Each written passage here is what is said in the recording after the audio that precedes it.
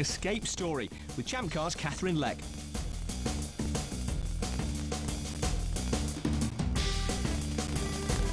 At the start of the year, Katherine Legge became the first female driver to run full-time in Champ Car.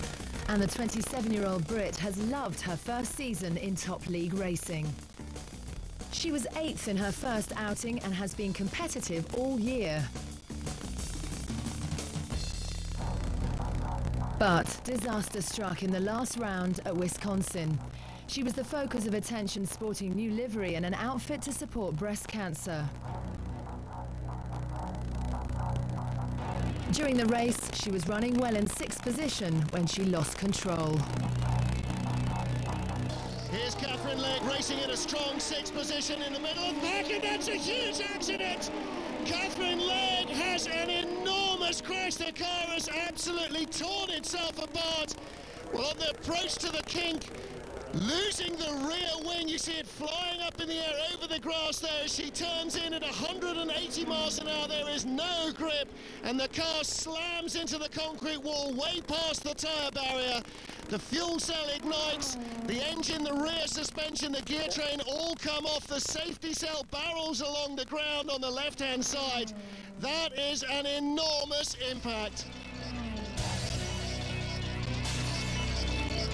It was one of the most frightening crashes ever witnessed, and for 20 minutes the crowd wondered whether Legge had survived. Well, we're here in Katherine's at the medical centre and she is walking, talking, and there she is smiling. What an escape. When she got the all clear, she seemed remarkably relaxed. It goes to show how strong the cars are.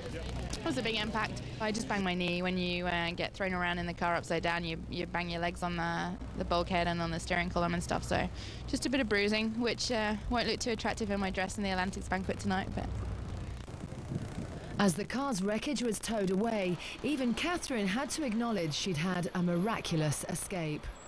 I don't think you're really aware of what's going on. You know, um, all of a sudden it just sped up and hit the wall, and then I see ground, and there's dirt coming in, and I see the fence, and honestly, you're thinking, you know, what's going to happen next? I think I saw bits breaking off and going all around me, and I think that I saw the engine split away because the, the car caught on fire. And my my the thing that scared me the most was, oh my god, it's going to catch fire. And then when the engine went away, I'm like, okay, well that's good. yeah, it was a bit scary. I think I had my eyes closed for a lot of it, to be honest.